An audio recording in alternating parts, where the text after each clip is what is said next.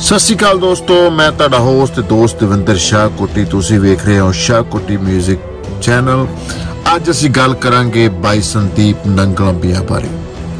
ਬਹੁਤ ਹੀ ਵੱਡਾ ਕਬੱਡੀ ਦਾ ਥੰਮ, ਜੋ ਕਿ ਇਸ ਫਾਨੀ ਦੁਨੀਆ ਨੂੰ ਅਲਵਿਦਾ ਆਖਿਆ।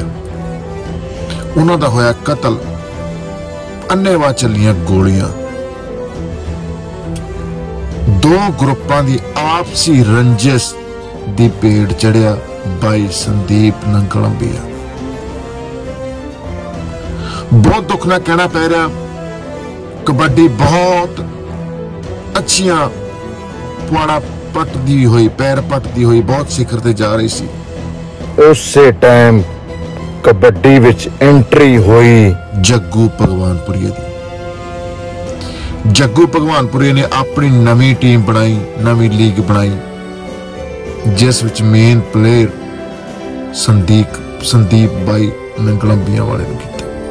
ਤੇ ਨਾਲ ਬਾਈ ਸੁਲਤਾਨ, ਮੰਗੀ ਬਾਈ ਹੋਰ ਵੱਡੇ ਪਲੇਅਰ ਦੂਸਰੇ ਬੰਨੇ ਦਵਿੰਦਰ ਬਵੀਹਾ ਗਰੁੱਪ ਉਹਨਾਂ ਨੇ ਵੀ ਆਪਣਾ ਗਰੁੱਪ ਤਿਆਰ ਕੀਤਾ। ਪਰ ਦਵਿੰਦਰ ਬੰਬੀਹਾ ਤੇ ਜੱਗੂ ਭਗਵਾਨਪੁਰੇ ਦੀ ਬਹੁਤ ਪੁਰਾਣੀ ਦੁਸ਼ਮਣੀ ਖੜਕਦੀ ਰਹੀ। ਆਖਰਕਾਰ ਦਵਿੰਦਰ ਬੰਬੀਹਾ ਗਰੁੱਪ ਵਾਲਿਆਂ ਨੇ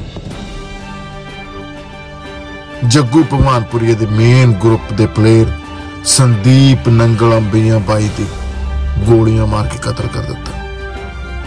ਪਿੰਡ ਵਾਸੀਆਂ ਦਾ ਕਹਿਣਾ ਕਿ ਬਾਈ ਸਟੇਜ ਵੱਲੋਂ ਦੂਸਰੀ ਤਰਫ ਨੂੰ ਆ ਰਿਹਾ ਸੀ ਤੇ ਦੂਸਰੇ ਬੰਨੋਂ ਚਾਰ ਬੰਦੇ ਸ਼ਿਫਟ ਡਿਜ਼ਾਇਰ ਵਿੱਚ ਆਏ।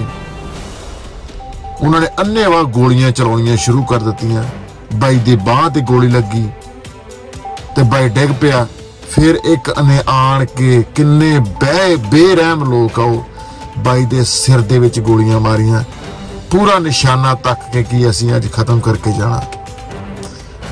ਪਰ ਮੇਰੀ ਤੇ ਸਾਡੇ ਚੈਨਲ ਦੀ ਇੱਕ ਦਰਖਾਸਤ ਹੈ, ਪ੍ਰਸ਼ਾਸਨ ਅੱਗੇ ਬੇਨਤੀ ਹੈ ਕਿ ਇਹ ਗੈਂਗਸਟਰਾਂ ਨੂੰ ਨੱਥ ਪਾਈ ਜਾਵੇ ਤਾਂ ਕਿ ਅਸੀਂ ਰੰਗਲਾ ਪੰਜਾਬ ਦੇਖ ਸਕੀਏ। ਬੇਨਤੀ ਹੈ ਬੇਨਤੀ ਹੈ ਸਾਡੇ ਪ੍ਰਸ਼ਾਸਨ ਅੱਗੇ ਕਿ ਸਾਡੀ ਮੰਗ ਨੂੰ ਪ੍ਰਵਾਨ ਕੀਤਾ ਜਾਵੇਗਾ ਤਾਂ ਕਿ ਅਸੀਂ ਵੀ ਸੋਹਣਾ ਸੁਨੱਖਾ ਤੇ ਰੰਗਲਾ ਪੰਜਾਬ ਦੇਖ ਸਕੀਏ। ਇਸੇ ਗੱਲ ਨਾਲ ਹੀ ਤੁਹਾਡੇ ਤੋਂ ਲੈਣਾ ਇਜਾਜ਼ਤ ਤੁਸੀਂ ਰੱਖਿਓ ਆਪਣਾ ਖਿਆਲ। ਓ ਇੱਕ ਮਿੰਟ ਇੱਕ ਮਿੰਟ ਇੱਕ ਮਿੰਟ ਭਾਜੀ ਹਾਂਜੀ ਮੇਰਾ ਚੈਨਲ ਦਾ ਸਬਸਕ੍ਰਾਈਬ ਕਰ ਜਾਓ ਪਲੀਜ਼ ਆ ਲਾਈਕ ਵੀ ਕਰ ਦਿਓ, ਘੰਟੀ ਵਾਲੀ ਬਟਨ ਦਬਾ ਦਿਓ। ਬਹੁਤ ਮਿਹਰਬਾਨੀ। ਮਿਲਦੇ ਹਾਂ ਅਗਲੀ ਤੇ ਨਵੀਂ ਵੀਡੀਓ ਲੈ ਕੇ। ਸਤਿ ਸ੍ਰੀ ਅਕਾਲ, ਸਲਾਮ ਅਲੈਕਮ, ਨਮਸਤੇ ਸ਼ਬਕ ਹੈ